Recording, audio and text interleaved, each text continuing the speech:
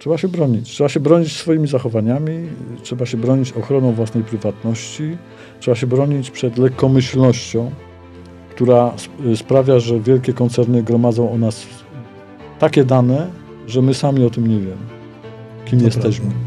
Tak nas profilują. No wystarczy, żeby tu leżał smartfon i za chwilę nam się wyświetlą reklamy broni, bo mówisz przed chwilą o broni. No tak. tak? I teraz y, zmierza ku temu samemu, żeby obywatel czuł się winny, tak? Z czegoś nie zrobił. Nie wypełnił kwitu G54 łamane przez 26, który jest wymagalny, a o którym pan nie wiedział. Nieznajomość prawa szkodzi. Taka jest interpretacja. A żeby się dowiedzieć o tych wszystkich kwitach, to człowiek wyląduje właśnie tam, gdzie zaczynają swoją pracę, w Houston. Houston.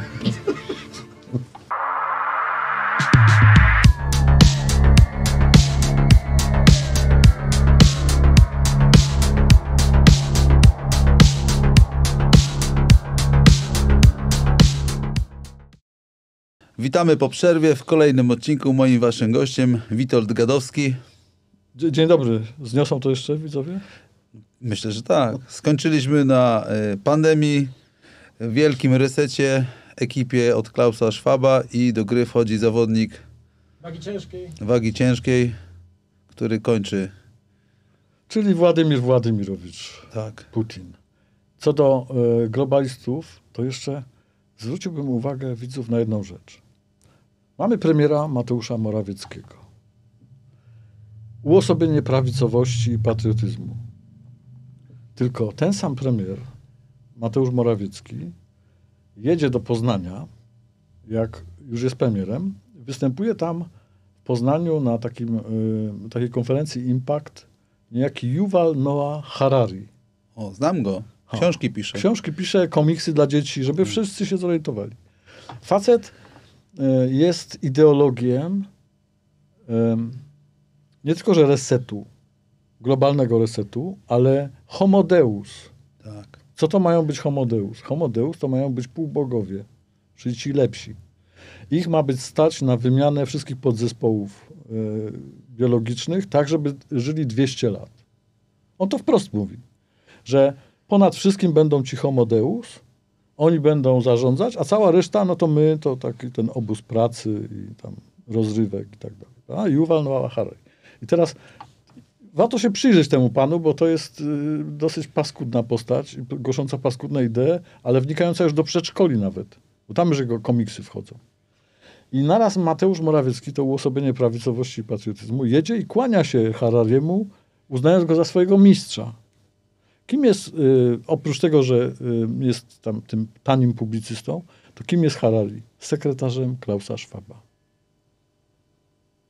Sekretarzem... A, a czytałeś książki Harariego? Tak. Prób... Znaczy, czytałem, to za dużo powiedziane. Przeczytałem jedną, a kilka próbowałem tam jeszcze przekartkować, żeby się nie pomylić. No, generalnie e, no wizję, wizję, ale powiem ci tak, nie wiem, czy to jest zaplanowana wizja, bo ja pierwszą książkę przeczytałem jego, ja to już mówiłem nieraz, w 2014 roku chyba tą Y, od zwierząt do bogów, nie?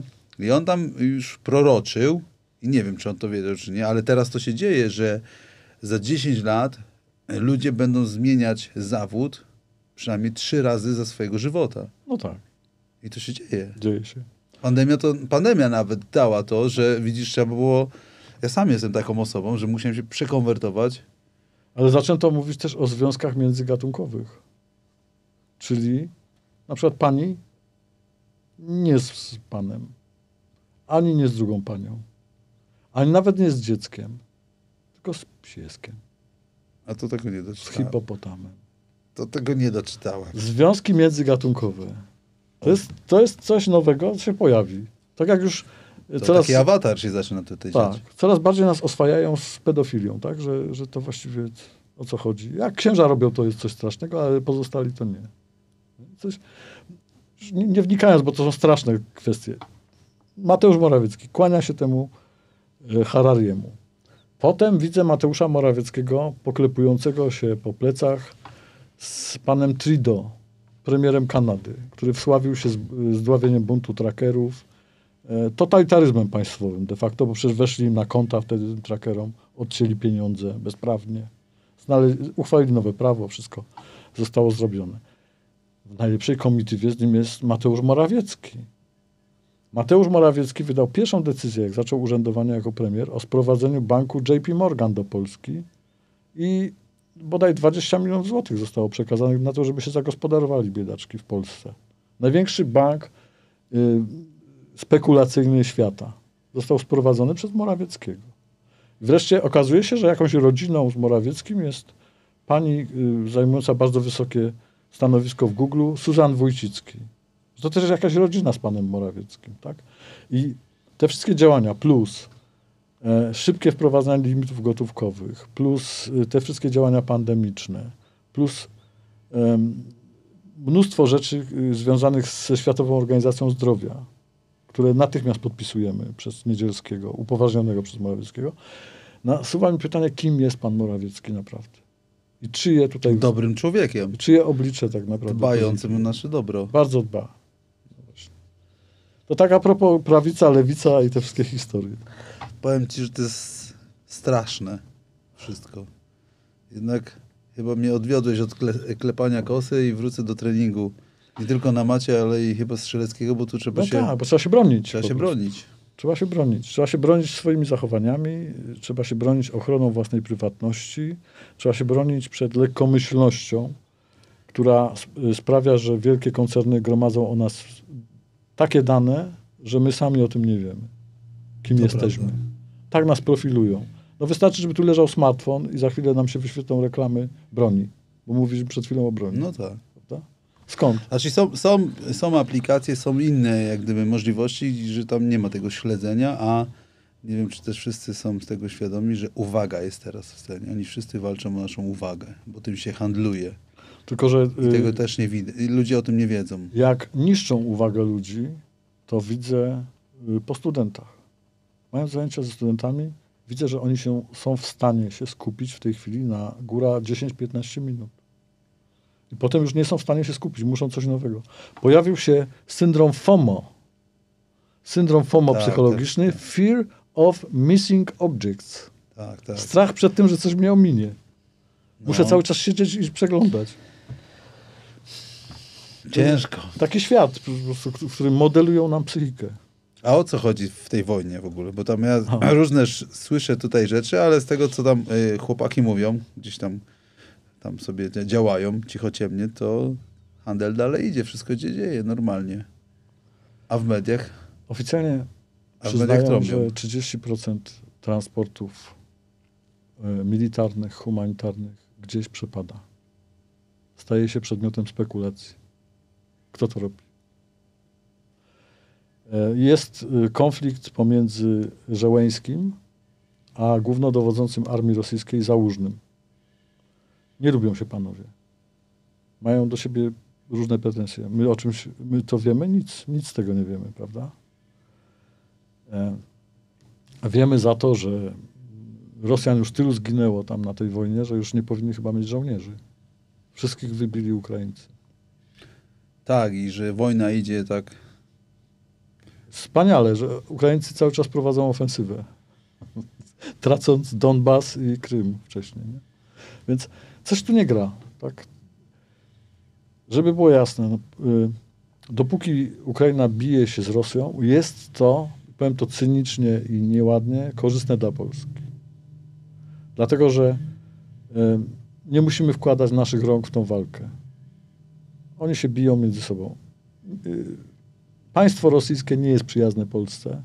Bo Nie mówię o Rosjanach jako o, o narodzie, bo to byłoby krzywdzące. Ale państwo, te elity dzisiejsze władzy rosyjskie, skupione wokół Putina, nie są przychylne wobec Polski. Wobec polskiej niepodległości. Ale czy elity ukraińskie są przychylne? Dziś dostaliśmy komunikaty, że e, więcej ekshumacji na razie nie będzie, jeżeli chodzi o e, zbrodnię wołyńską. Że de facto żadnych przeprosin też nie będzie, bo rzecznik Ministerstwa Spraw Zagranicznych, ten słynny od jesteśmy sługami narodu ukraińskiego, pan Jasina, napisał niedawno na Twitterze, że y, Żeleński powinien przeprosić za Wołyń w imieniu Ukraińców. No i natychmiast oderwa, odezwał się ambasador Ukrainy w Polsce, że pan prezydent nie będzie, nie będzie w ogóle przyjmował takiego czegoś, że ktoś może mu dyktować, co on może zrobić, że to jest w ogóle wysoce naganne. I natychmiast ten rzecznik poszedł na y, urlop. Cisza. Pan Andrzej Melnik, ambasador Ukrainy w Berlinie, sławiący Banderę, jest wiceministrem spraw wewnętrznych Ukrainy. Więc biorąc pod uwagę to wszystko, widać jakąś nierównowagę w y, stosunkach pomiędzy Ukrainą i Polską. Tak y, mówiąc najbardziej oględnie, jest jakaś nierównowaga. My ustępujemy. Dlaczego? Dlaczego? Przecież możemy prowadzić normalną politykę, wspierając to, co jest strategicznie y, dla Polski istotne. Czyli no, wspomagając wysiłek, mówiąc takimi wielkimi słowami, wysiłek wojenny Ukrainy. Tak? No jest to w naszym interesie, żeby tłukli y, armię Putina. Bo to trudno powiedzieć, że to jest armia rosyjska, bo to róż, różne są narodowości. Często wysyłane tam zresztą chyba wbrew, wbrew własnej woli. No reżim kremlowski nie jest przyjazny Polsce. Y, Ukraińcy biją się z tym reżimem. Jest to dla nas korzystne. Ale czy to skłania do tego, żebyśmy byli na kolanach wobec Ukrainy? Z jakiego powodu? Jaki jest tutaj w ogóle interes Polski? Skoro teraz pan Żałęski twierdzi, że y, wiodącą rolę w odbudowie Ukrainy będzie miała firma BlackRock, która będzie to organizowała, no ale oczywiście Niemcy, Francuzi y, to no, ale jak, nie na przedzie. No bo jak jedziesz po Polsce, albo tu nawet po Krakowie, to ja tu nie widzę, żeby były jakieś polskie firmy, budowały te wszystkie drogi, mosty, budynki. Jest Strabak, Skanska do niedawna, było Lafrage, leje beton, co tam jeszcze jest. Y, może my nie jesteśmy zdolni jako Polacy. Czy w ogóle, z tego co wiem, to polski przemysł y, cementowy to już chyba nie jest polski. Y, większość cementowni to jest meksykańska. Bo tam jest taki no to ja, oligarcha jak, cementowy. To jak my chcemy na Ukrainie budować?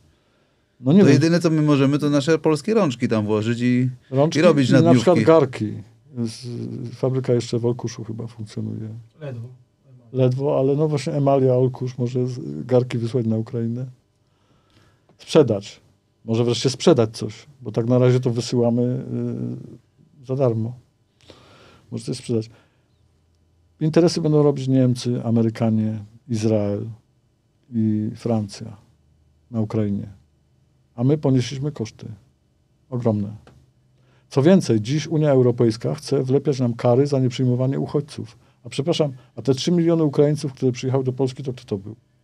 Nie, to, są, to nie są uchodźcy. To są podludzie jacyś, tak? Nie, to Według są, Unii Europejskiej. To są Słowianie. To, to, to nie, nie są uchodźcy w ogóle, nie? Nie ponieśliśmy w ogóle kosztów. Że gdyby nam dano 20 tysięcy euro za każdego, to jaki byłby zastrzyk do budżetu? Ale nam nie dadzą. Ponieważ jesteśmy niegrzeczni, tak? A myślisz, że potwierdzi zdanie, już to nieraz tutaj mówiłem, jest taki dziennikarz motoryzacyjny Jeremy Clarkson. Kiedyś jak wjeżdżali, oni tutaj robili jakiś program i wjeżdżali do Polski, to tam padło takie stwierdzenie, że wjeżdżamy do Meksyko Europy. Polska. To było parę lat temu, nie? dobrych. A niedawno czytałem opinię francuskiego reportera, który stwierdził, co to za kraj. Nie muszę się obawiać na ulicy. Nie muszę, się, nie muszę się trzymać za portfel w tramwaju. W ogóle po zmroku mogę chodzić. Co za fajny kraj. Czyli się coś zmieniło. No, dobre. Ale komu to przeszkadza? Że naraz chcą nas ubogacić. Co mnie interesuje? Liczby. Za czasów, y, gdy był rząd pani Kopacz, absolutnie nieudolny, absolutnie go krytykowałem wówczas. Awantura dotyczyła 7 tysięcy y, y, migrantów, którzy mieli być przesiedleni do Polski. 7 tysięcy. W czasie rządów Prawa i Sprawiedliwości przyjęto 300 tysięcy. Po cichu. Ale wystarczy wyjść na ulicę polskich miast, żeby zobaczyć, jak bardzo się urozmaiciło ilu ludzi jest y, bardziej śniadej karnacji niż nasza. Skąd oni się wzięli? Tak po cichu?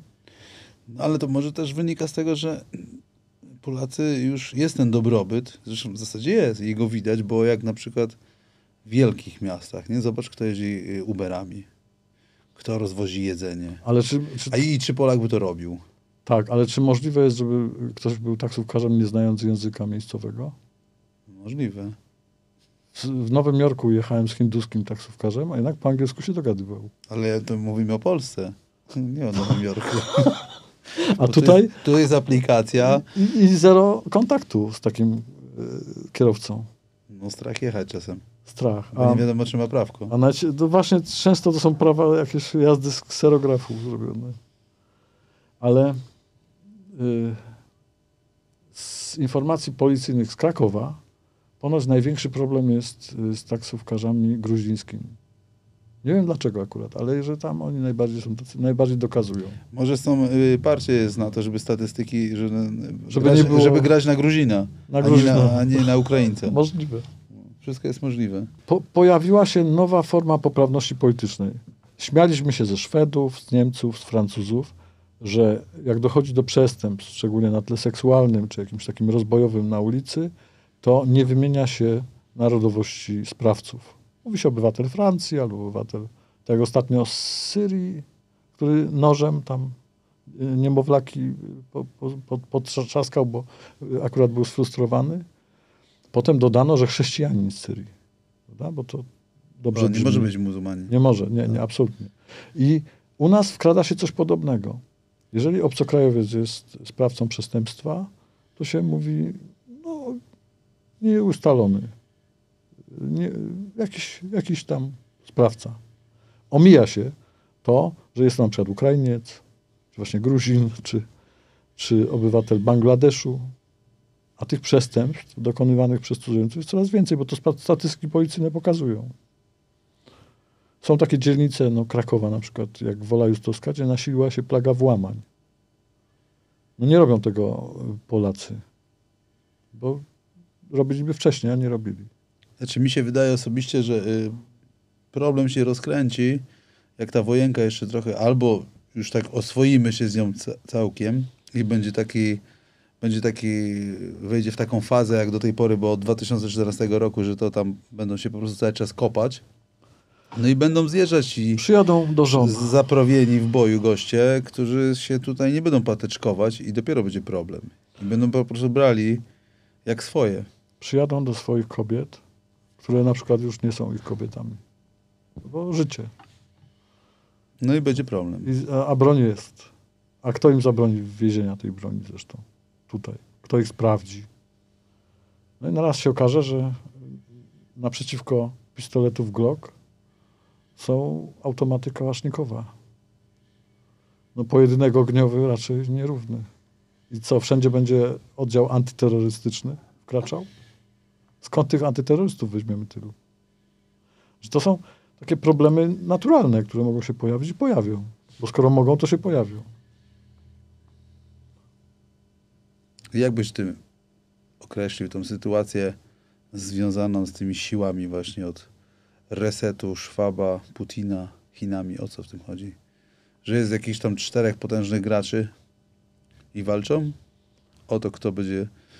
Tej chwili się dokonuje walka o y, walutę, która jest walutą świata. Dotychczas był dolar Amerykanie drukowali tego dolara i y, my wszyscy na świecie kredytowaliśmy Amerykę, no bo oni mieli drukarkę i po prostu mogli wydrukować ile chcą. Ale teraz to się zmienia. Kraje BRICS-u y, usiłują wprowadzić zupełnie inne umowy. Wprowadzić y, jako walutę juana chińskiego albo jakieś inne parytety, odejść od dolara. To jest zagrożenie e, strategiczne dla Stanów Zjednoczonych. I myślę, że y, w obronie dolara może wybuchnąć naprawdę potężna wojna. Bo dobrowolnie Stany Zjednoczone nie odstąpią od roli hegemona walutowego. Tymczasem na przykład Arabia Saudyjska podpisuje y, umowy z Chinami bez rozliczeń dolarowych. Tam jest też podtekst taki lokalny, bo książę Mohamed, który rządzi w Arabii Saudyjskiej, jego ojciec jest królem, ale tak naprawdę on rządzi, jest obrażony na Amerykanów. Ponieważ Amerykanie y, zarzucają mu zabójstwo dziennikarza Jamala Khashoggiego Tak, tego w ambasadzie, tak?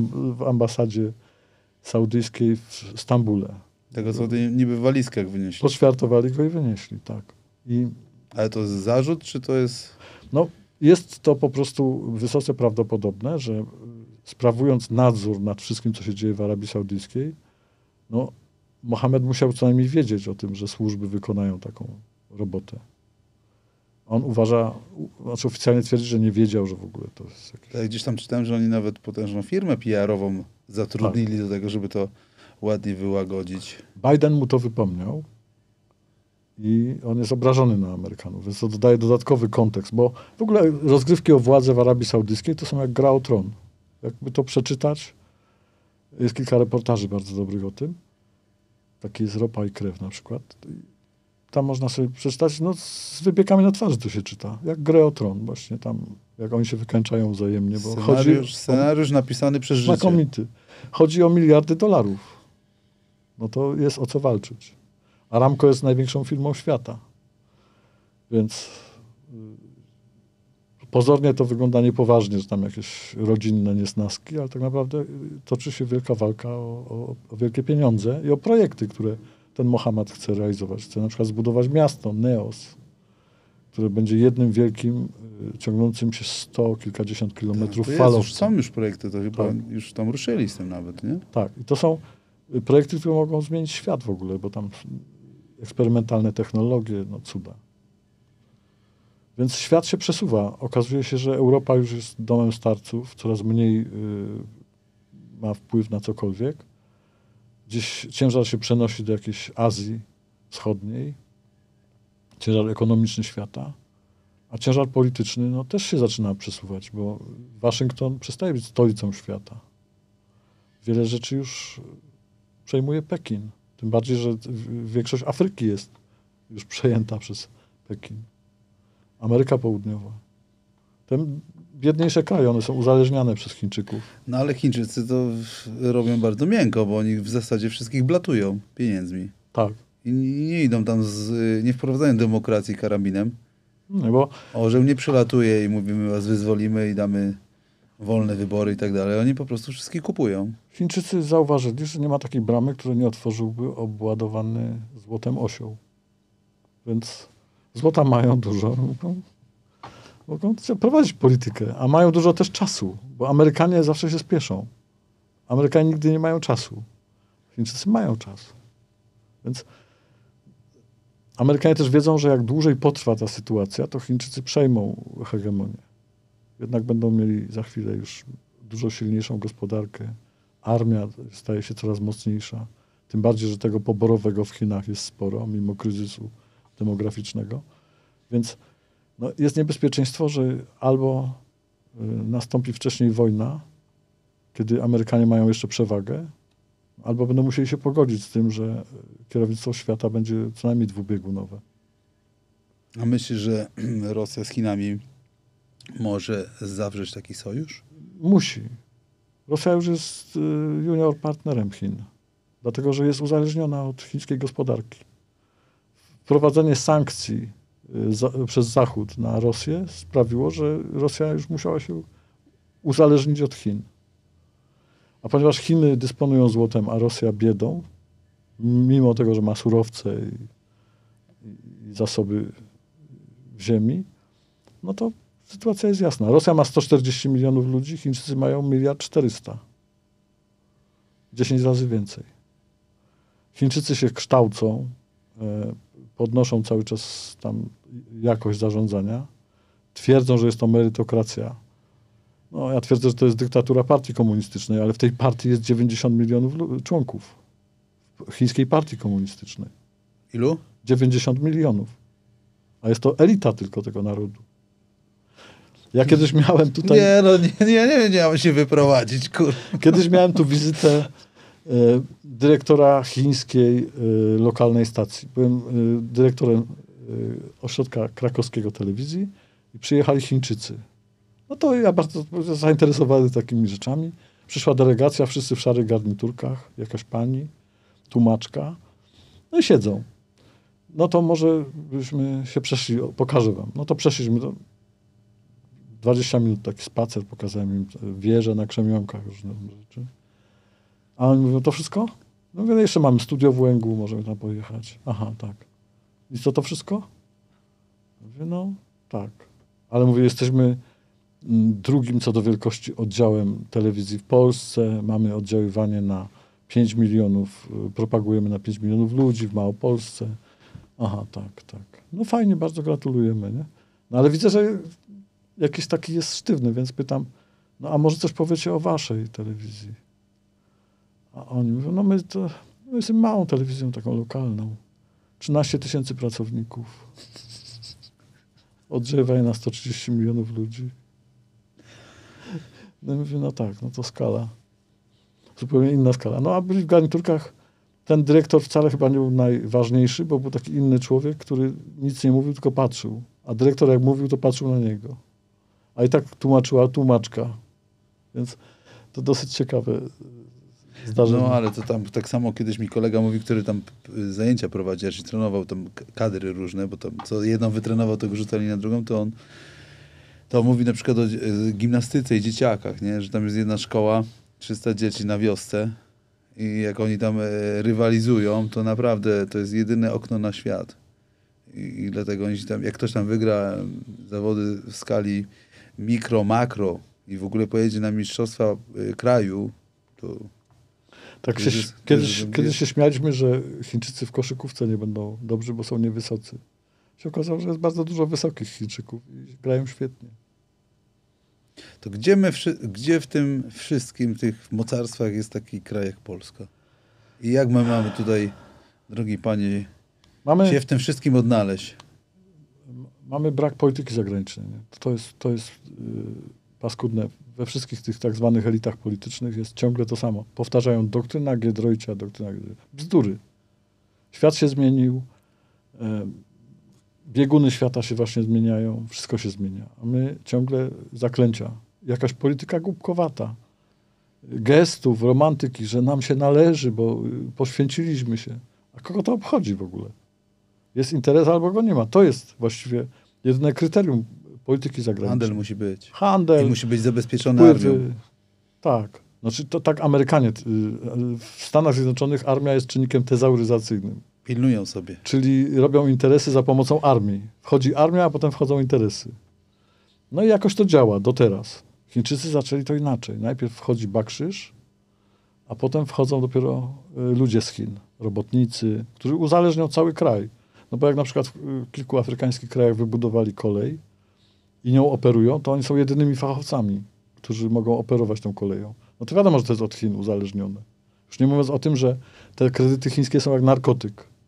Po prostu chce się więcej, więcej, ale narkotyk powoduje coraz większe konsekwencje.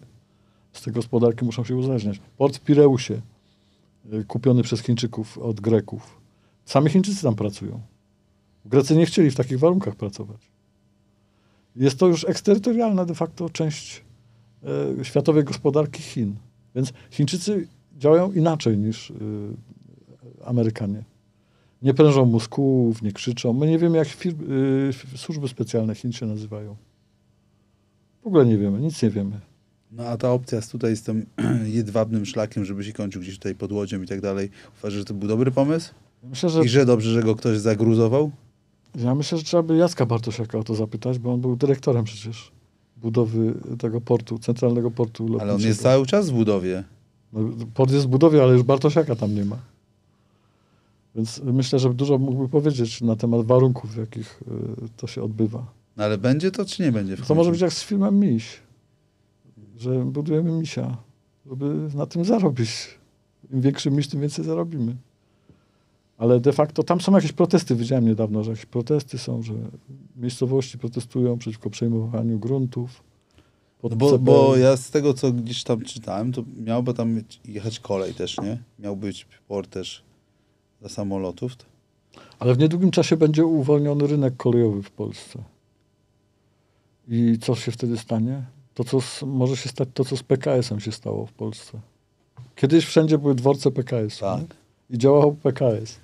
I Teraz- nigdy nie był opłacalny. I nie było zawsze opłacalne. Był, zawsze tak. był no, do... A teraz jeżdżą Irlandczycy, Czesi, różne firmy, Niemcy. Ale myślisz, że to jest celowe działanie, czy naturalny proces znowu? Czy po prostu mamy tak nieumiejętnie y, dobieraną kadrę zarządzających, że oni po prostu nie potrafią wyjść?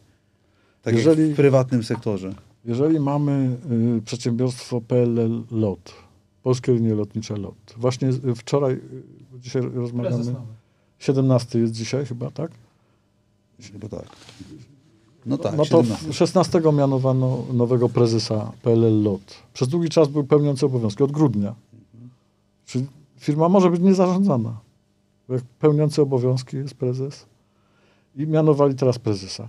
Ciągle szefami y, linii lotniczych LOT są ludzie z mianowania politycznego. No to jak ten lot będzie konkurował z Lufthansa, z tanimi liniami lotniczymi, czy z jakimiś potęgami światowymi? Słabo to wychodzi. Bo powinni tam siedzieć ludzie, którzy zęby zjedli na biznesie, światowym biznesie lotniczym. No a jeżeli chodzi o paliwowkę, to y, były wójt z Pcimia jest adekwatną osobą do Orlenu?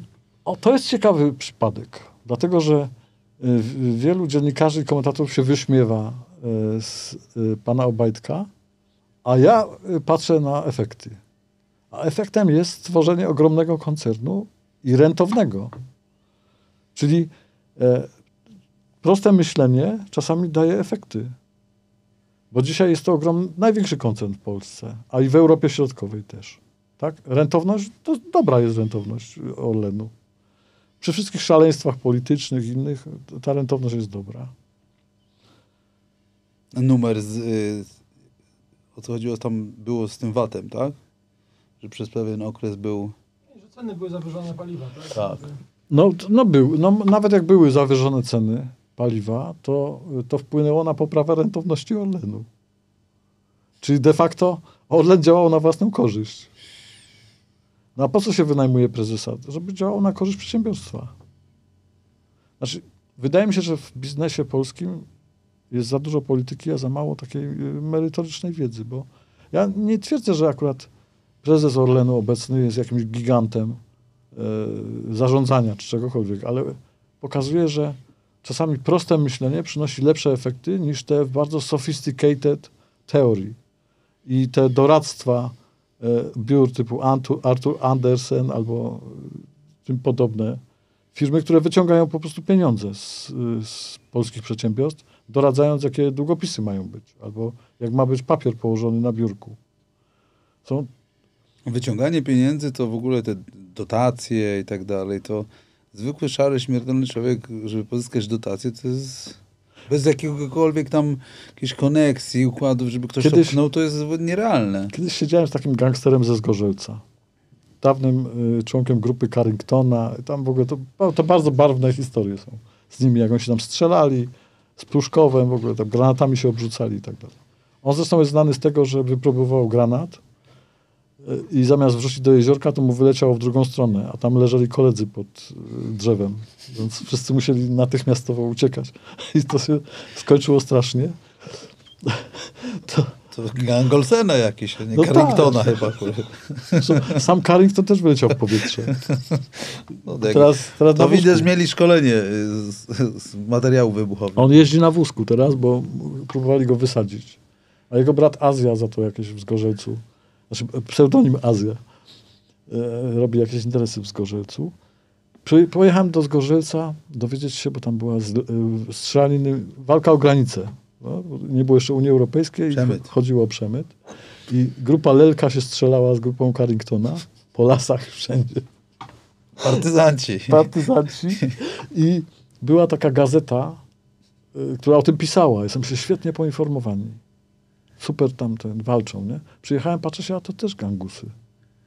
Tylko oni byli, po prostu mieli inne interesy. I założyli gazetę. I, to, i szło. Więc w Polsce tak, tak to się dzieje. Czasami to jest komediowe, śmieszne. Zawsze myślałem, żeby założyć w Krakowie tutaj takie czasopismo Bramkarski Plotek.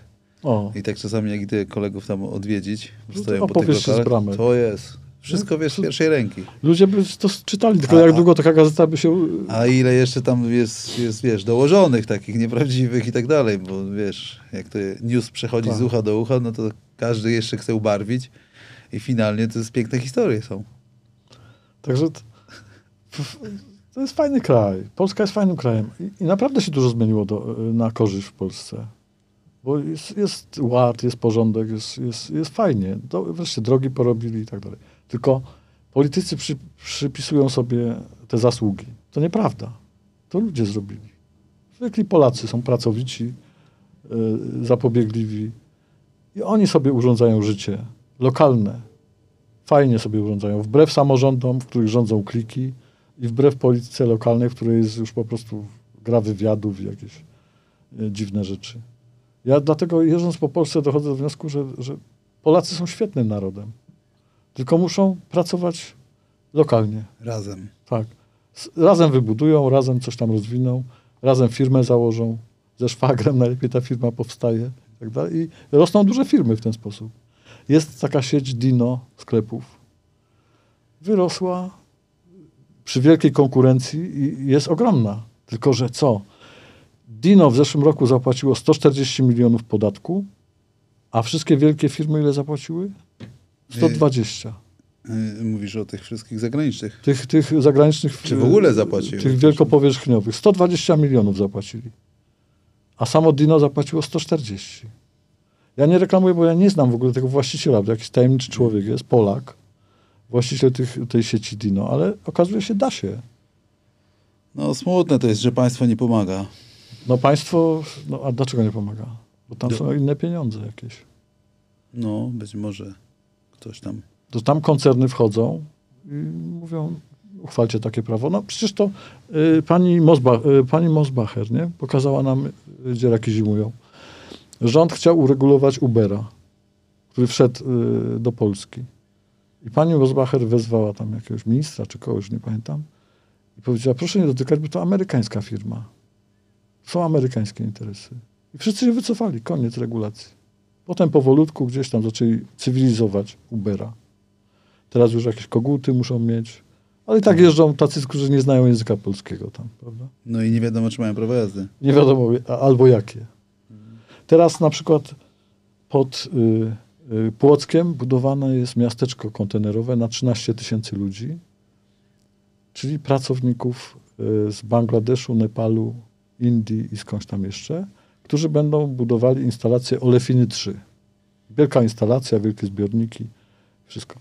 I zawiaduje tym firma Hyundai, która prowadzi takie budowy w różnych krajach. Okazuje się, że firma Hyundai sprowadza tych robotników, którzy śpią na piętrowych łóżkach i mają tam tylko pracować i spać. Mają jakąś stołówkę. Współczesny niewolnik. niewolnik. Ale my wszyscy się zgadzamy.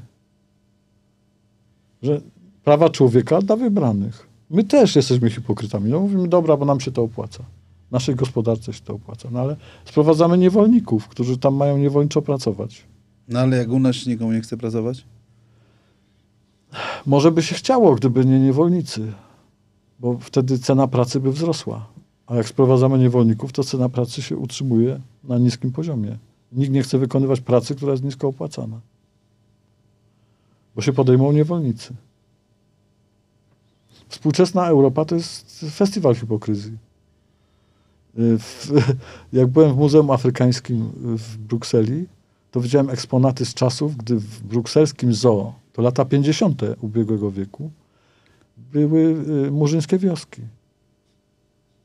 Obok wielbłądów, y, tam kapibarów i innych, to były też murzynki małe. Latały sobie dzieci i tak dalej. I przychodziła publiczność i się przyglądała. Najpopularniejszy kształt czekoladek belgijskich rączki. Zgadnijcie od czego jest. Od rączek, które obcinał król. A, Leopold. Prawda? Tak. No bo w Kongo wymordowali Za ponad, niewyrobienie Tak. limitu tego czy tamtego Kongo wymordowali ponad milion ludzi. Belgowie, ci tacy sympatyczni Belgowie. Nie? A, tylko dzisiaj już nikt o tym nie pamięta. No, pomnik króla Leopolda stoi w Brukseli. No, mordercy. Więc Wielka Brytania, no to szkoda gadać, bo to jest cała historia. Niemcy byli poszkodowani, bo, bo się nie dobili do kolonii tak jak chcieli, no to musieli wywołać wojnę. No i tak mamy. Francuzi, Portugalczycy, Hiszpanie. Holendrzy sympatyczni. Ale zobacz, to też raz, że oni mieli kolonie, dwa, że oni cały czas też handlowali. Tak. A teraz y, y, głuptaki z Polski usiłują stwierdzić, że my też mieliśmy kolonię. Bo na przykład nie wolno mówić na Ukrainie, tylko trzeba mówić w Ukrainie. No właśnie, Ponieważ- o co chodzi z tym sporem? Bo z tego co wiem, to jedno i drugie jest poprawne, tak? Czy nie? No, poprawne I, najbardziej. I kogo to w ogóle tam y, tak bardzo rusza, że to przeszkadza? Czy powiem na Ukrainie? Zawsze się mówi na Ukrainie. Tak. Czy nagle się mówi w Ukrainie? Bo na Ukrainie to znaczy, że to jest sym- symbol polskiego panowania. Ktoś to wymyślił. To zresztą deputowana do Wierchownej Rady Ukraińskiej takie brednie zaczęła głosić, a nasi to podchwycili natychmiast, powiedzieli, no nie możemy być rasistami. My też musimy mieć jakiś Black Lives Matter. My też musimy się y, przed kimś klękać, nie? bo to takie jest modne. Tam to robią, Polska nie miała kolonii, no to chociaż y, musimy wspierać, że Ukrainę skolonizowaliśmy, tak? I, A, i teraz jest taka niby ta miłość, tak? tak, i w Ukrainie, wszystkie, wszystkie te głąby mówią w Ukrainie, co jest niepoprawne, bo to Rada Języka Polskiego tak politycznie poprawnie stwierdziła, że i tak, i tak można. Nie, nie można i tak, i tak, tylko się zawsze mówiło na Ukrainie i to jest historycznie uzasadnione i powinno się stosować na Ukrainie, ale wszyscy się boją teraz mówić na Ukrainie, bo polityczna poprawność każe mówić w Ukrainie. Tak, nie, a na Węgry, my co, skolonizowaliśmy Węgry, że mówimy, że jedziemy na Węgry? No to są takie brednie, które wychodzą z tej poprawności politycznej. Na Słowację, ja Na zawsze Słowację. jeździłem. No to też Na skolonizowaliśmy. Czechy. No. no więc nawet na w Czechach. języku to się przejawia. Teraz już nie mówiąc o tym, jak y, się niszczy polski język przez anglicyzmy, ale też y, jak się niszczy przez te wszystkie, nie, nie można powiedzieć pani sędzia. To musi być sędzina. Dawniej sędzina to znaczyło żona sędziego. A teraz sędzina. Y, naukowczyni. No to przecież paskudnie brzmi nawet, nie? To jest wykoślawianie języka polskiego, ale to jest politycznie poprawne. Pracują nad tym różne fundacje, instytuty, całe kierunki nauki. Fundacja, y, jak to się nazywa? Batory, tak? No to, to, to tak, no bo to jest powiązane z Sorosem. Soros już by dobiegał setki, ale jeszcze żyje. To może jest y, na tym, co Harari mówi, jest tym duo homo, homo duo, homo deus, tak? Deus. No. No. On, no to, by- on już długo żyje rzeczywiście. Może się zaszczepił. Ale y, S- Soros jest, y, pochodzi z Węgier, ale był sekretarzem Karla Popera. Karla Popera, który stworzył społecz- y, teorię społeczeństwa otwartego. Stąd teraz wszystko, co Soros robi, to jest otwarte. Otwarty dialog. Wszystko musi być otwarte. To, y, takie są konsekwencje, nie? że te idee gdzieś tam mają konsekwencje ludzi. Ten jest sekretarzem tego, ten jest sekretarzem tamtego, tak jak Harari jest Szwaba, tam, tak y, Soros był Karla Popera i tak to idzie. No, wracając jeszcze do tych naszych Ukraińców, tutaj ty myślisz, że... No bo oni nie mają innych bohaterów, nie? Mają tego swojego, no... Mogliby mieć Semena Petlurę, ale go nie, nie znoszą, bo on z Piłsudskim współpracował.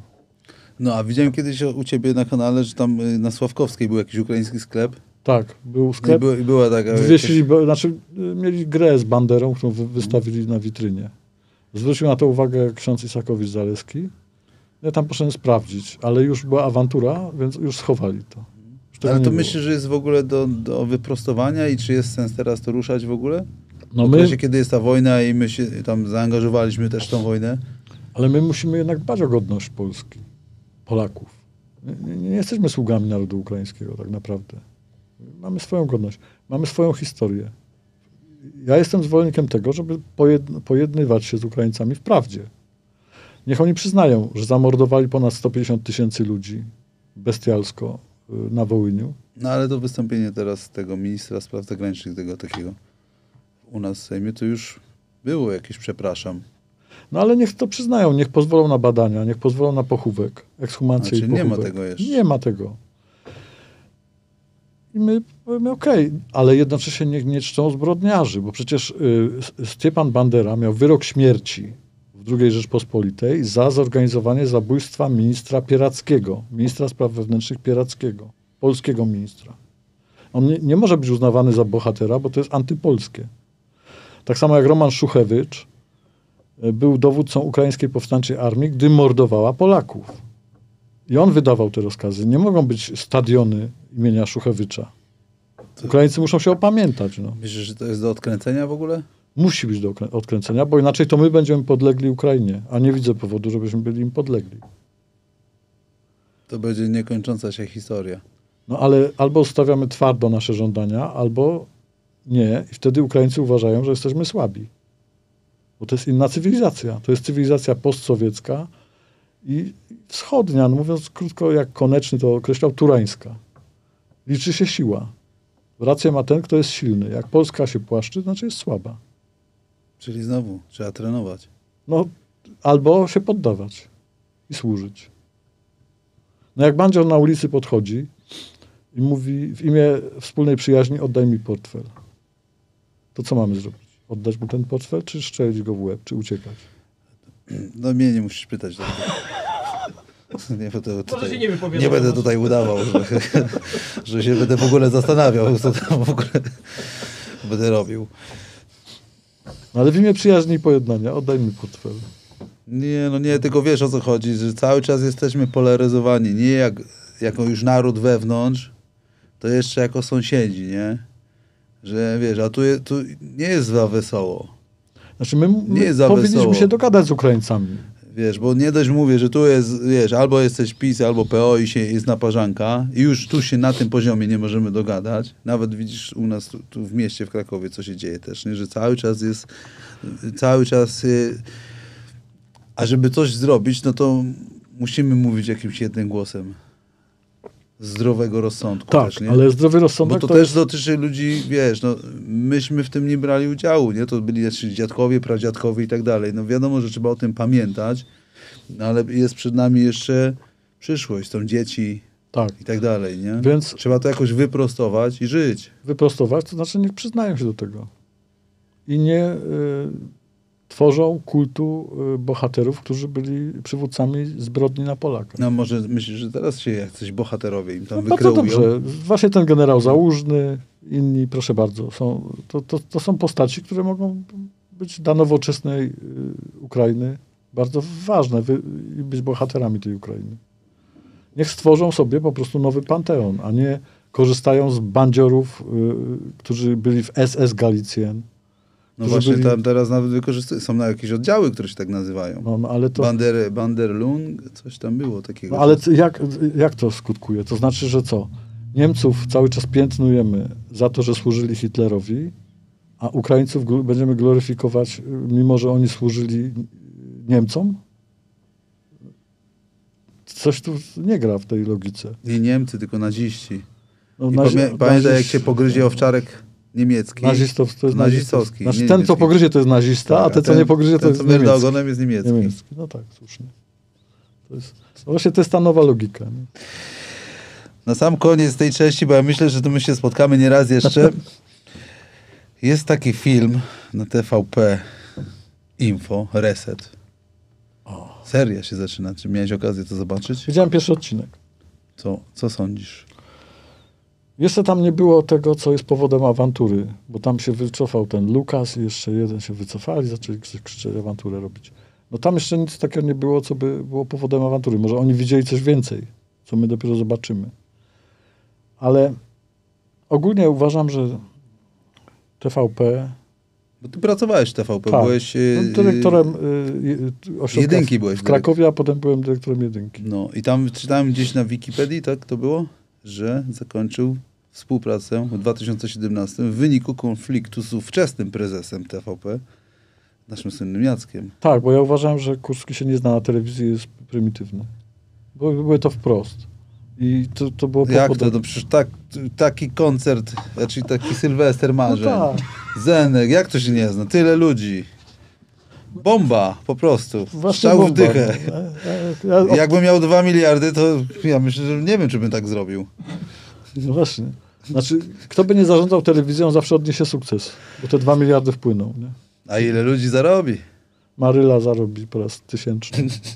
Nieśmiertelna. Ale mówi, że nie ma za co żyć, nie rozumiem. Bo ona widocznie y, ma droższe życie niż my wszyscy. Do tego. Ale... Y, co Będzie byśmy- satyryczny podcast. Co byś to mówili, że y, telewizja? Telewizja, no bo tutaj, że się po, pociąłeś z panem No, Jackiem, no i tutaj o, mówiliśmy o, o w ogóle jakości i, i, i serialu Reset. A i reset, właśnie. Y, Kiedyś uważałem, że pan Rachon jest zdolnym dziennikarzem, znaczy zdolnie zapowiadającym się młodym człowiekiem, który może być ciekawym dziennikarzem. I y, Obawiam się, że moja teoria ugrzęzła. Tak bym to... To jest jeszcze, ja mam jeszcze jedno pytanie, jak już jesteśmy przy tych dziennikarzach, bo tam jest taki młody wilk, który stał się dziennikarzem. Grał w filmie Młode Wilki. A, pan ten y, na J, tak? Tak. Tam no, to walczy. Ostro walczy. Ma jeszcze tego Mariana, co na siłownię chodzi. Marian y, z Lublina. Tak. Marian z Lublina No. i jest... Jest strong ekipa. No tak. No co? Dzieje się. Dzieje się. Przynajmniej jest emocja. Jest, ja nie mam telewizora. Ja tam czasami zaglądnę, żeby tam wiedzieć, co w sprawie pisze. Znaczy nie w telewizji, ale to teraz internet już jest, nie? Bo Ja nie mam telewizora, ale y, uważam, tak już mówiąc poważnie, że to jest skandal. Skandalem jest to, że mamy tak zwane media publiczne. Polskie Radio i TVP to są media publiczne. Y, Iluś obywateli płaci na te media y, podatek, nazywany abonamentem. Czyli de facto to ma być coś na wzór BBC, tak? No BBC też skręciło w lewo mocno, ale jednak jakieś tam standardy obowiązują. Tymczasem Prawo i Sprawiedliwość uznało, że to jest ich telewizja. Ich partyjna telewizja. I mogą w tej telewizji być tylko ci, którzy głoszą chwałę Prawa i Sprawiedliwości. Jak ktoś ma inne zdanie, to nie będzie w tej telewizji. Ja szczęśliwie jestem wolny od tych wszystkich emocji, ponieważ chyba od 2017 mam zakaz wstępu do telewizji. Zakaz. Po prostu nie mogę nawet wejść. ale tam. tutaj była jakaś rozmowa z prezesem, że oficjalna, że powiedziałeś, że dziękujesz? Powiedziałem, że się nie zna na telewizji i że to, co robi, to jest, to jest skandal. I, się to, I to była nasza ostatnia rozmowa. No to za co się tam przyczepiła Krajowa Rada Radiofonii i Telewizji? Przyczepiła się, bo się nie zarejestrowałem. A ja też muszę się zarejestrować, czy po tym podcaście będę musiał się zarejestrować? Po tym podcaście chyba. Po tym podcaście, bo to może być na, nagła inspekcja z Krajowej Rady. Ale na razie de facto odstąpili. Czyli na, Było jakieś uzasadnienie, że odstępujemy, bo trochę, się, Irlandia, się tam y, zapukała do nas? trochę się, trochę się y, naawanturowałem o to i uznali chyba, że nie ma co przed wyborami robić jeszcze kolejnej awantury z jakimś kolejnym y, człowiekiem, bo już mają dużo awantur. A mają jakieś w ogóle narzędzia ku temu, żeby to zrobić, czy to jest po prostu strach? Mają, bo uchwalili takie przepisy, że rzeczywiście każdego mogą de facto ścigać, że się nie zarejestrował, jak będą chcieli. Mhm.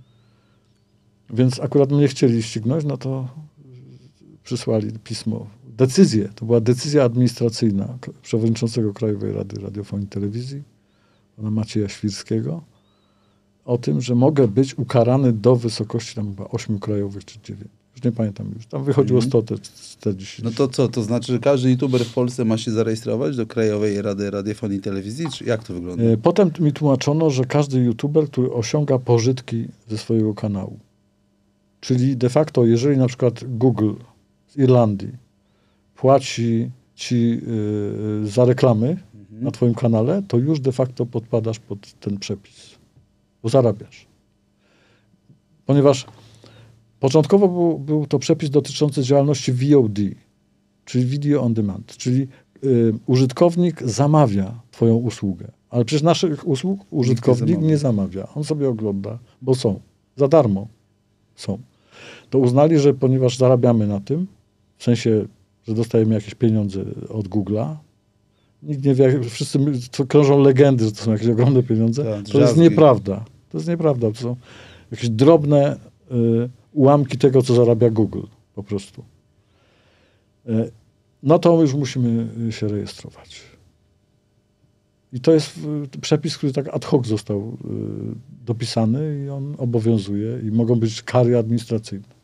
Wtedy od tych kar trzeba się odwołać do Naczelnego Sądu albo Wojewódzkiego Sądu Administracyjnego i prawdopodobnie wygrać, tylko że ile to potrwa i jak to będzie działało, podczas gdy decyzja administracyjna jest egzekwowalna. Czyli Czyli najpierw blokują. zajmą pieniądze, a potem będzie wyrok sądu i może oddadzą.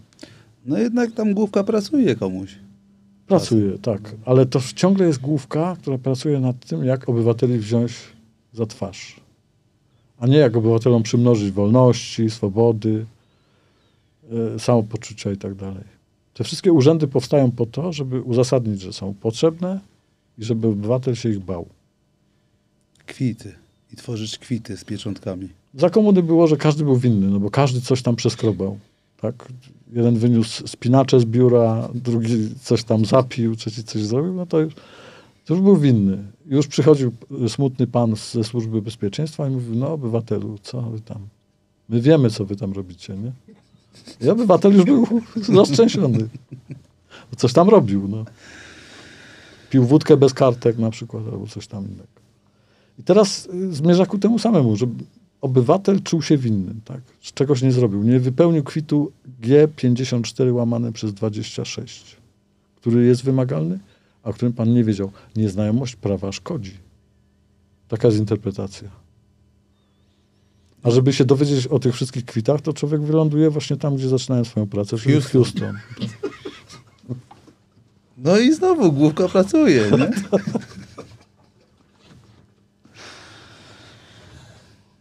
Na sam koniec, jakbyś był takim, zadaję to pytanie wszystkim, nie? My się pewnie jeszcze tu spotkamy, bo się dobrze gada, ale jakbyś dzisiaj dostał taką różdżkę i został królem Polski, wprowadził się na Wawel, to od czego robimy porządki?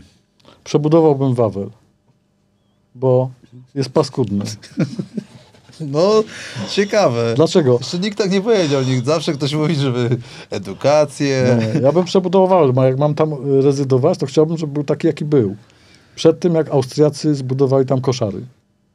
Czyli tam były kościoły, tam było ładnie. Teraz jest tak sobie, no ludzie się przyzwyczaili. Ale nie jest to najpiękniejsze, prawda? No dobra, czyli już jest, ta, y, jest zamek zrobiony, tak Za- jak ma być. Zamek bym zrobił, a potem bym się zastanowił nad tym, czy nie pozamykać wszystkich y, polityków.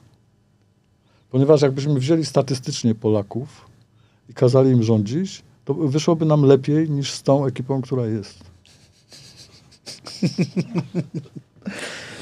No ale to mówią różnie te tematy sta- statystyki, bo mówię, że jest Mm. kłamstwo, wielkie kłamstwo i statystyka, nie? No ale statystycznie, gdybyśmy z ulicy zgarnęli 100 ludzi do rządu, to by się w tym znalazło 10 mądrych, 15 półgłówków, reszta mierna, no ale jakoś to by się rozłożyło, a zanim nauczyliby się kraść, to coś dobrego by zrobili. Bo by sobie uświadomili, po co tam są. Potem by się nauczyli kraść, to trzeba by ich popędzić i następnych. No to zamykamy polityków. Łapanka, po prostu łapanka przyniosłaby lepsze efekty niż obecna y, droga wyłaniania elit politycznych. Bo przecież teraz do polityki nie może się przebić żaden normalny człowiek. To prawda. Po pierwsze nie chce, bo ma odrazę, ale nawet gdyby chciał, to musi co zrobić? Podlizać się kierownictwu własnej partii. Mówiąc krótko, zrobić wślizg i znaleźć się w miejscu nieodpowiednio mi- miłym, ale za to odpowiednim do Ale kariery jest ciepło. ale jest ciepło i wtedy zostanie na listę wsadzony. A jak będzie niegrzeczny, to nie zostanie wsadzony. Jak będzie miał swoje poglądy, nie zostanie wsadzony. Jak powie liderowi partii, obojętnie jakiej, pan się myli, ponieważ ja się znam na tej dziedzinie i z mojej dziedziny wynika, że jest inaczej, to powiedzą, o, przemądrzały. Takiego nie chcemy. Nie chcemy przemądrzałych, wobec czego jacy są nieprzemądrzali. Straszne. Więc tak, a potem potem bym zrobił to, co, co rzeczywiście co Wilczek nieświadomie czy świadomie zrobił, ale uprościłbym y, zasady prowadzenia działalności gospodarczej w Polsce. Znowu z tych tysięcy stron zrobiłbym 200. Takich najbardziej podstawowych. Jeden podatek. Dekalog. Nie kradnij.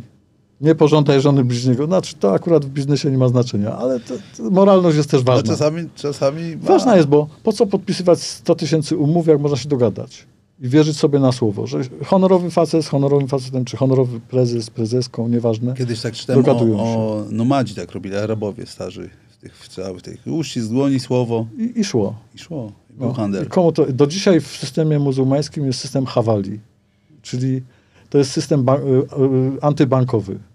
Oni potrafią się bronić, ponieważ y, rodzina w Bagdadzie umawia się z drugą rodziną, a krewni tej rodziny w Nowym Jorku wypłacają pieniądze. Na gębę. Da się? I da się, i wszystko jest skontrolowane przez rodziny i nikt nie kradnie. Tylko trzeba być moralnym. Tak.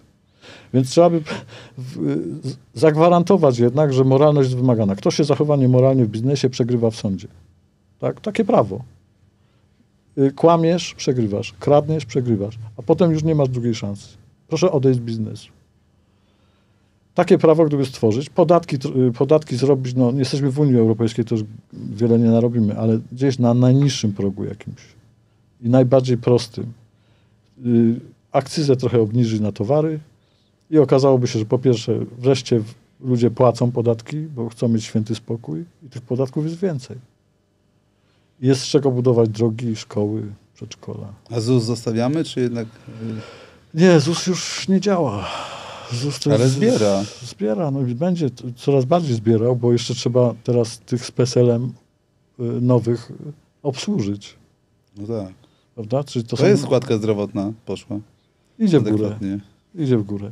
I I za tak- chwilę ta podstawowa też idzie w górę, więc no, je, no wiadomo, że po pierwsze piramida demograficzna padła, czyli mniej się rodzi niż umiera, więc ci, y, coraz mniej ludzi pracuje na tych, co mają uprawnienia. No to się musi zawalić niestety. Demografia sama pokazuje. No ale jako król to jak byś to rozwiązał? Jako król to trochę, po pierwsze pojechałbym do króla Abdullaha II do Jordanii, ponieważ on tam rządzi. Tam jest prawdziwe królestwo. Wszystko jest króla. Więc nie opłaca się kraść, no bo to jest i tak króla, nie? A kto kradnie, to trzeba obciąć rękę albo... To może być y, w ambasadzie, tam z walizce być wyniesiony. Ale zapytałbym się tego Abdullaha, jak on to robi, że w, dosyć biednym kraju jest w miarę okej. I ludzie sobie żyją spokojnie i nie ma napięć. Na pewno jest ich mniej niż w sąsiednim Izraelu. Więc y, zapytałbym się tego króla. Potem znalazłbym jeszcze jakichś kilku władców, którzy funkcjonują, jakoś to działa. Gdzieś jest w Butanie chyba Butan, naj, tak. najwyższy poziom szczęśliwości Tak, tak, świecie. bo oni PKD tak mierzą. No i jest król. Coś dobrego tam się dzieje. No i potem, mając te doświadczenia, uczyłbym swoje dzieci, patrzcie, a sam bym też wyciągnął wnioski, może by to wyszło lepiej, nie? Statystycznie nawet chyba by wyszło lepiej, bo podejmowałbym sam decyzję. A teraz jest, mamy największą Radę Ministrów chyba w dziejach. Iluś tam dziesięciu ministrów, zastępców i tak dalej. Ogromny rozrost administracji. Gdyby te pieniądze przeznaczyć na rozwój gospodarczy, ludzie by mieli pracę, zasady byłyby jasne, każdy mógłby założyć działalność gospodarczą, rejestrując się na kwitku w gminie. No ale dzięki temu, że jest taka wielka rada ministrów, to jest też dużo pracy. Ludzie mają pracę. No bo oni Bo muszą, ich mają, y, oni mają kuzynów, muszą znajomych. uzasadnić y, swoją sensowność istnienia, nie? więc tych ministrów jest. No tak, no, ostatnio podano, że dzięki PiSowi przybyło w Polsce 90 milionerów. I to są ci, którzy w y, spółkach Skarbu Państwa zasiadają z ramienia PiSu i już zarobili ponad milion. No ale ty kiedyś y, namawiałeś nawet, żeby Tak. głosować na PiS i, Bo, i co się stało, że się odwidziało? miałem, y, po drodze miałem całą przygodę ze swoimi znajomymi również z Platformy Obywatelskiej, którzy powiedzieli, ty klękniesz na kolanko, to dostaniesz, a jak nie klękniesz na kolanko, to nie.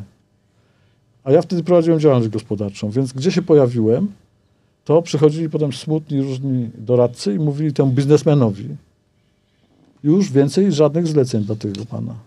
Wiemy, że dostał, ale to pierwsze ostrzeżenie. No i tak mogłem tylko jedno zlecenie robić, mimo że wszyscy byli zadowoleni. Więc zacząłem z tą platformą wojować. Jeździłem po całej Polsce i namawiałem, żeby ją wywalić. Najlepszą szansą na wywalenie platformy był PiS. No więc namawiałem na PiS. A PiS przyrzekał, że, te, że oni naprawdę są tacy patrioci, że oni naprawdę tak Polskę kochają i tak dalej. No, co myślę, no może to tak jest prawdą, chociaż znałem ich, że to różni są. Nisponiów też dużo, ale że coś z tego będzie. Nie? W 2015 naprawdę byłem optymistą. Myślę sobie, będzie dobrze. Może będą mniej kraść, może dadzą wreszcie odetchnąć przedsiębiorcom. Przyszła pani Szydło, zapowiadała, że będzie super. A potem pogonili panią Szydło przed pan Morawiecki. No jest jak jest. No i dzisiaj już mamy ile? 8 lat rządów PiSu? No osiem już jest. No, No. no to już głupi jest ten, co nie wyciąga wniosków z doświadczeń. I być może wtedy to było, był wybór mniejszego zła. A dziś? Trzeba się zastanowić. No. Platforma rządziła 8 lat. Poszła sobie w niesławie. Teraz się dobija z powrotem. No, ich raczej do władzy nie ma co puszczać. PiS ma taką przyjemniejszą retorykę, bo tak trochę też patriotycznie, trochę już do wyżygania z niektórymi rzeczami. No ale dobra. Myślę, że żołnierze wyklęci się przewracają w grobach, bo początkowo to był fajny ruch, młodzież, y, się- a teraz się stało to cepelia, cepeliowe obchody, jakieś takie ku czci. Jest jeszcze jaszczur. No jest jeszcze ten, ale jego za, zamykają. Nie, to jest, to jest już dramat. Ja, jaszczur jest dramatem. No ale to oni wyprodukowali jaszczura, no po prostu tworząc taką sytuację. A poza tym jaszczur chyba jeszcze ma jakieś inne drożdże. To. No ten drugi to z nim robi, że okazało się, że gdzieś tam był donosicielem też. nie? O proszę, to to, są nie, kwity wypłynęły jakieś. a się nie, to mnie nie, o, nie No, zdziwiło mnie No to. ja, nie zapomniałem, jak oni niego mówią, ale też jest ciekawie. Raz gdzieś y, nadawali i przyszedł facet i mówi, cicho mi tu wynosić. Przerwał im nadawanie. Okazało się, że to był syn y, Korwina Mikke, O, bo to gdzieś w jego willi na, nadawali. Więc takie historie rosną. Tylko, że trzeba coś wymyślić, bo jak nie, to patologia będzie się dobijała do władzy. Ja myślę, że trzeba się po prostu na razie wspierać, zacząć od środowiska wokół siebie. Był tu jeden gość, polegi, chłopak, który mówi, że trzeba sobie stworzyć swój mikrokosmos i w nim po prostu żyć i też jest wyznawcą tego, żeby po prostu tu usługa za usługę, z rączki do rączki, swoje robić, być, starać się być niezależnym. Rozmawiałem ostatnio z y, takim góralem, który ma na imię Sebastian. I on jest dosyć znany, ale to, to akurat tu miał trafną uwagę. I mówi tak, widzisz, tu mam czapeczkę. Chciałbyś mieć taką czapeczkę? Mówię, no może bym chciał. Pięć Sebastianków mi zapłać. A ja mówię, ale co ja z tymi Sebastiankami zrobię? Nie, przeliczysz sobie, bo ja będę dogadany z kim innym i on będzie mi przeliczał Sebastianki na Andrzejki. No jest I pomysł. w ten sposób będziemy mogli prowadzić handel niezależny od Jakąś własną, jakąś własną walutę sobie Tak. stworzyć. No. Czyli towar za towar, usługa za usługę, usługa za towar. Fajnie, bo to w lokalnych społecznościach może to funkcjonować, bo ludzie się znają, mogą sobie tak pomagać po prostu. A poza tym dla ludzi ważne jest, że są wśród ludzi. Trzeba wyrwać tych młodych ludzi z tabletów. Że oni siedzą w wirtualnej rzeczywistości. Trzeba ich z powrotem nauczyć rozmawiać przy stole, z kolegami, grać w piłkę i tak dalej, bo oni po prostu wszyscy siedzą Grają w piłkę w, w sieci. no właśnie. A, a tu brzuchy rosną i potem to zapasione, takie niezdrowe, od razu do koncernów farmaceutycznych. Czyli potwierdza się teza w zdrowym ciele, zdrowy duch. No tak, no to, to jest podstawa, nie? Że, dzieciaki muszą się ruszać, a ludzie też, dorośli. No dobra. Chyba tyle z mojej strony na, na dzień No. dzisiejszy. Myślę, że jeszcze się tu spotkamy, bo Może się, widzowie to wytrzymają. bo się dobrze, dobrze się rozmawia. Śmiesznie. Taka tragikomedia się trochę tutaj robi. No ale to musimy, bo jak będziemy zdołowani, to zachorujemy. I nas opadnie beznadzieja. Nie będzie się nam chciało nic zrobić. Apatia. A jak będziemy się trochę podśmiewać, trochę kpić na taką y, modłę czeską nawet, Nie, dobrze trafiłeś, bo my jesteśmy tutaj wyznawcami Monty Pythona. No właśnie, że trochę się podśmiać, trochę z dystansem, to coś wymyślimy. To napędza do aktywności. Więc życzymy naszym widzom dużo uśmiechu. Uśmiechu, napędu do roboty. Takiej Zdrowia. Realnej i zdrowia. Dziękuję bardzo. Dziękuję. Moim waszym gościem Witold Gadowski. Dziękuję.